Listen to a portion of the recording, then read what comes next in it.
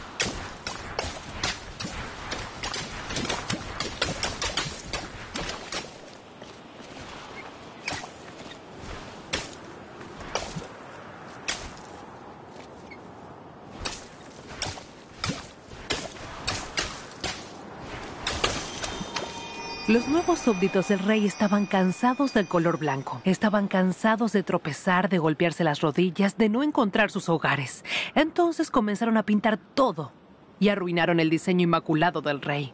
En respuesta, el rey declaró ilegales todos los pinceles no mágicos y se comprometió a pasar el mes siguiente pintando sombras para su reino.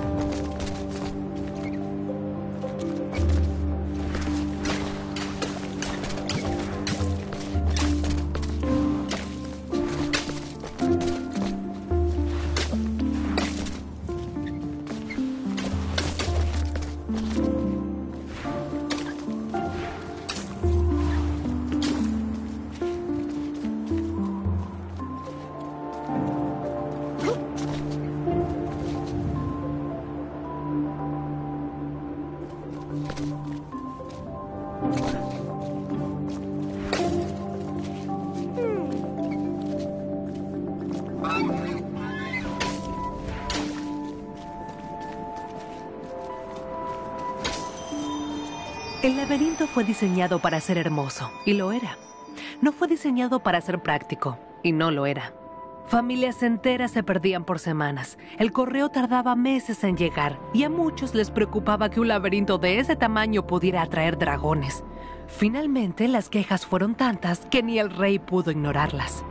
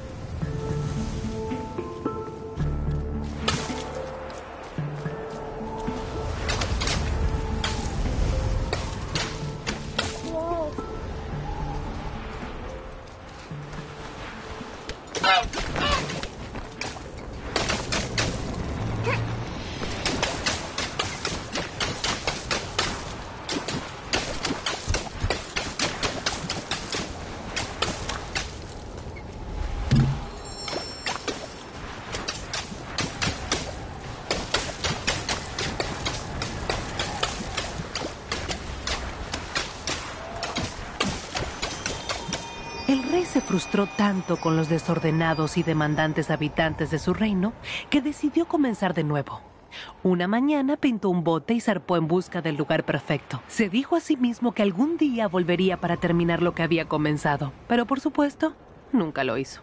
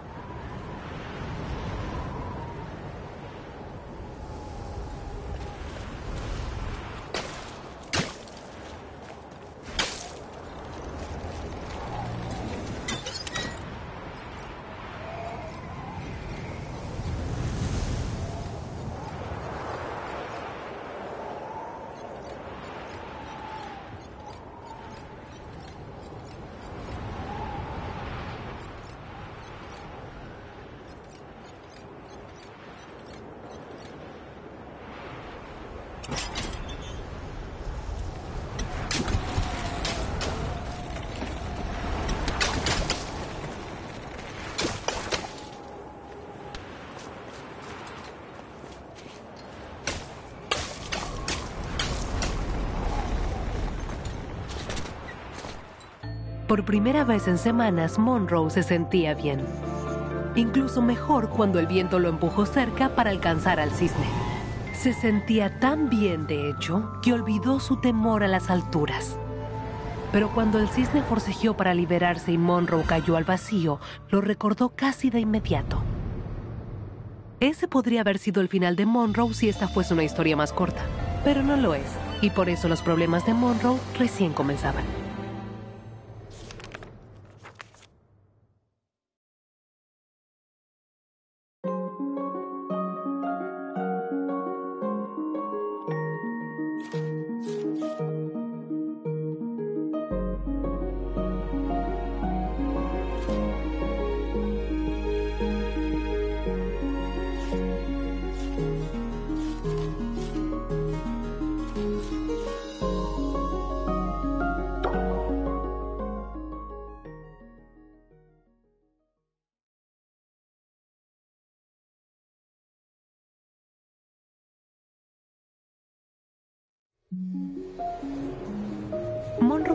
Corriendo del agua y se encontró en una ciudad inmensa, sin indicios del cisne ni nadie más. Bueno, salvo por un par de enormes pies que pertenecían a un gigante que podría haber sido de gran ayuda para atrapar al cisne, pero, desafortunadamente, era el gigante más holgazán que jamás haya existido, y era su día de descanso. Habiendo celebrado como acostumbraba, dormía para recuperarse y no podía escuchar los gritos de Monroe. Mientras buscaba una manera de despertar al gigante, Monroe vio algo incluso mejor, un barco volador.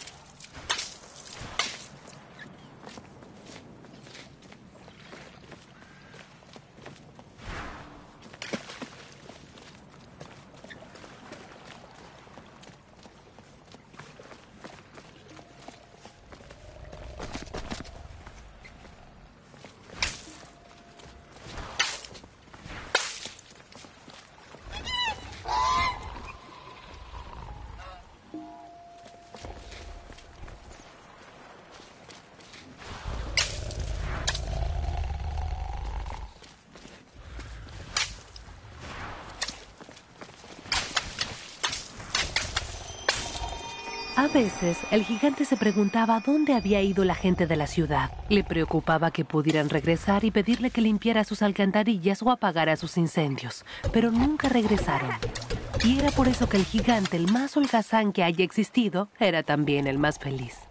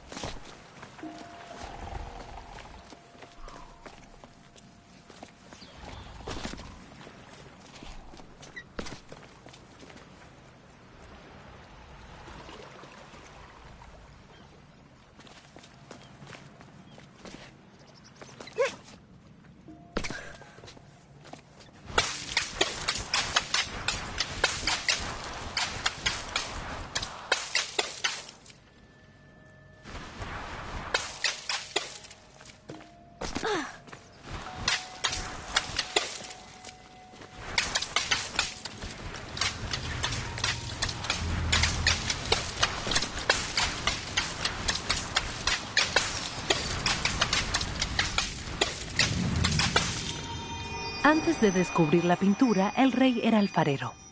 Amaba la sencillez de un recipiente bien torneado. Entonces, cuando sus súbditos se quejaron de que su nueva ciudad era muy austera y no había dónde aliviarse, el rey los ignoró. Pero cuando comenzaron a utilizar sus recipientes para ese fin, el rey construyó un sistema cloacal.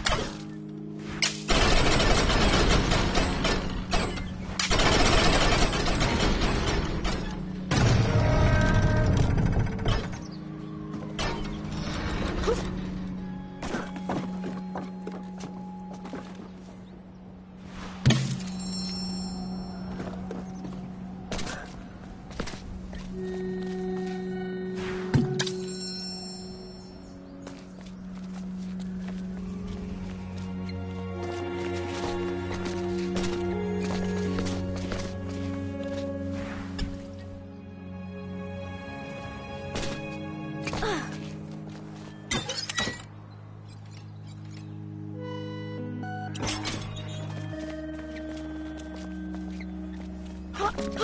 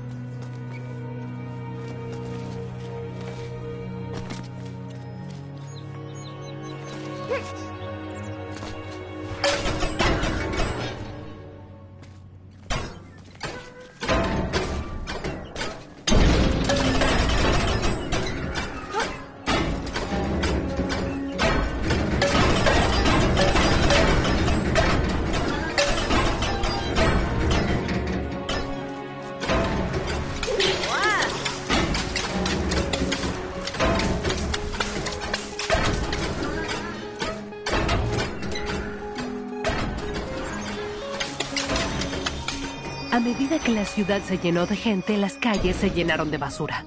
Enfurecido, el rey pintó un canal sobre los caminos que arrastró la basura junto con algunos de los niños más rezagados. Pero el agua trajo algo más, una horda de enredaderas que comenzaron a cubrir la ciudad.